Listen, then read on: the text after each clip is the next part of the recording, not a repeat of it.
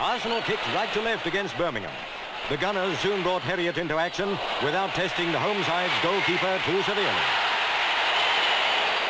And then it was Furnell in Arsenal's goal who was called on to save. This was real cup-tie stuff. The ball swiftly going from end to end. The centre Wembley hangs over the fifth round. But do what they could, neither team was able to score in the first half.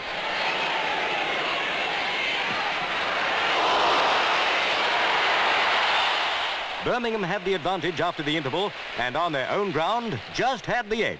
Both in attack and defence, they began to look slightly the better side.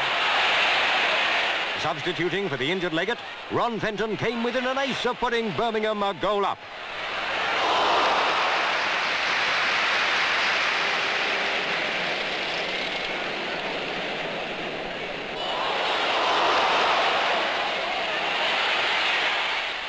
Not till the 83rd minute was the game decided.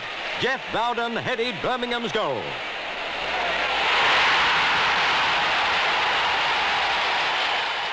A sporting match, and it was Birmingham to go into round six.